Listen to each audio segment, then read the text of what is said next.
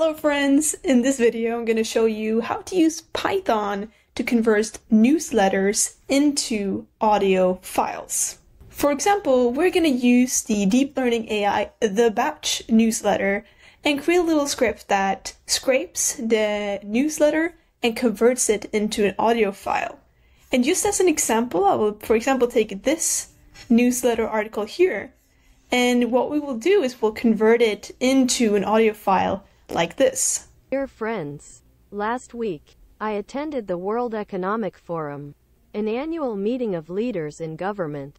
Alright, to get started, we want to open up a new code editor and use our Python um, tools for this. So, the first thing we need to do is import our libraries, and we're going to need two libraries. Beautiful Soup 4 for web scraping, that means taking down the text from the newsletter website, and GTTS, which is Google Text to Speech, which is going to convert the text into our speech and audio file.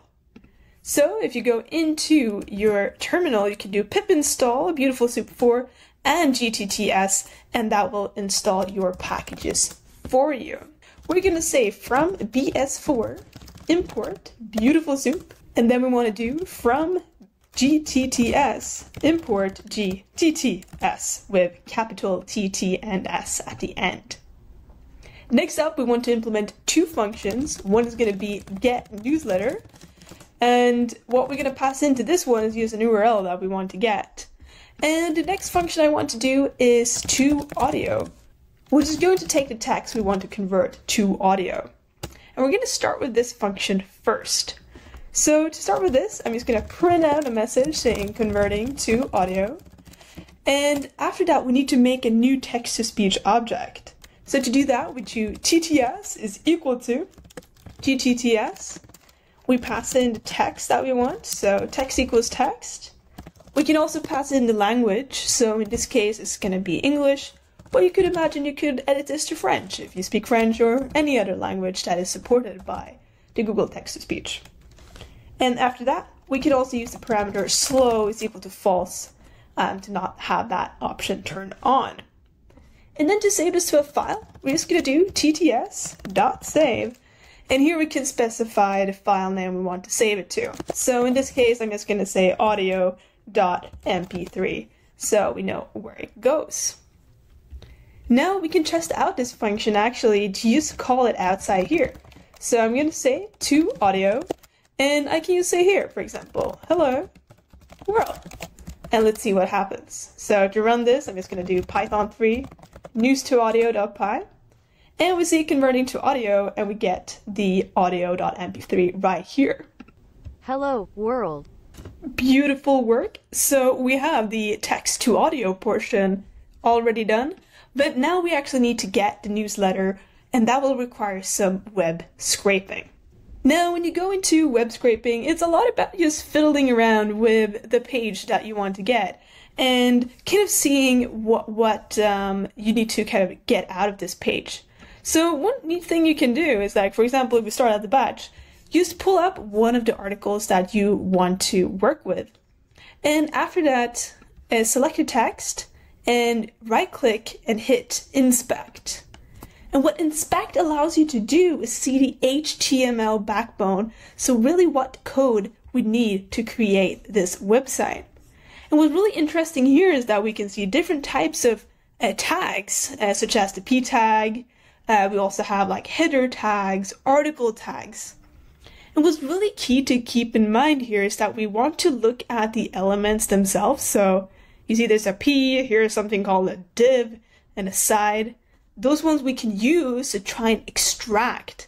And right now we can see that all the text seems to be in these P tags right now. So that's giving us a clue that to scrape this website, we really wanted to try and extract these P tags. And another thing that we want to keep an eye on is kind of these classes right here. So often divs, headers, or main or all these paragraphs often have different classes or IDs. For example, here you can see that this has an ID of top announcement.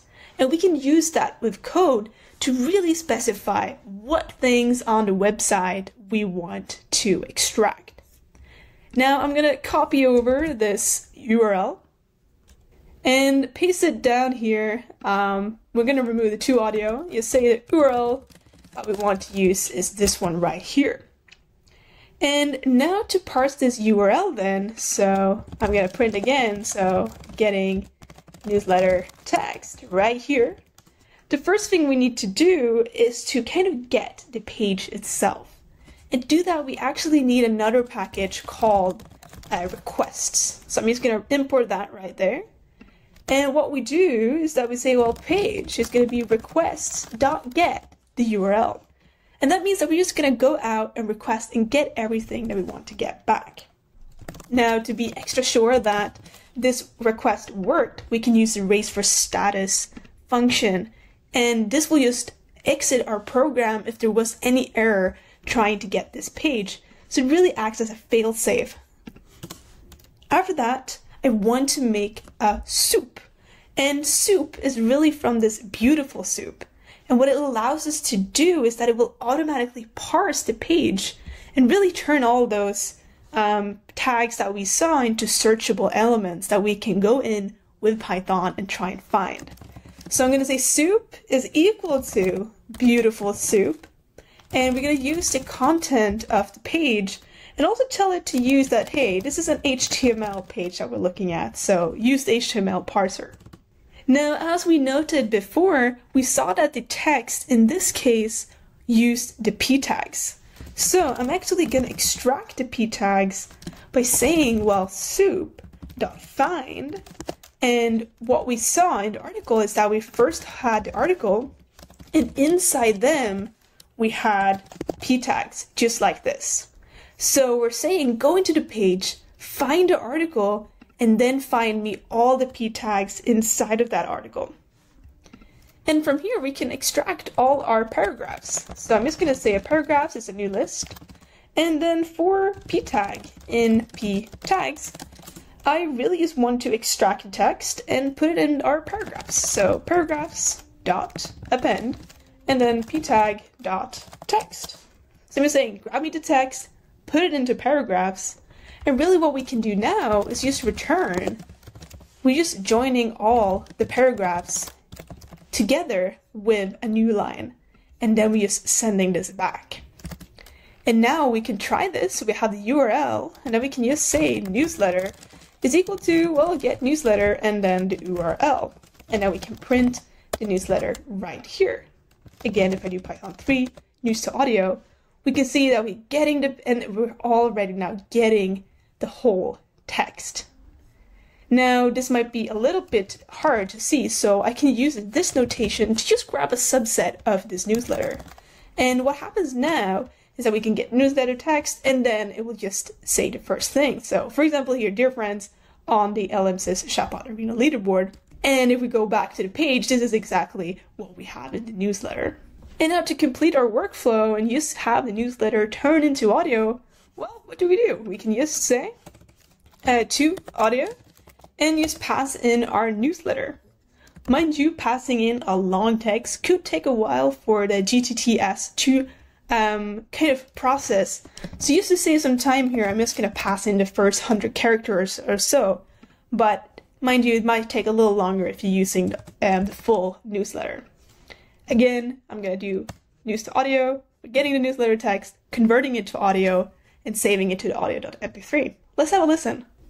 Dear friends, on the LMSYS Chatbot Arena leaderboard, which pits chatbots against each other anonyma. And that's pretty neat. So now you completed a project converting newsletters into audio, and you can then just upload this to your Google Drive, into your phone, have it listen with you, and have your newsletters on the go. Alright, thank you so much for watching this video, and see you in the next one. Bye bye.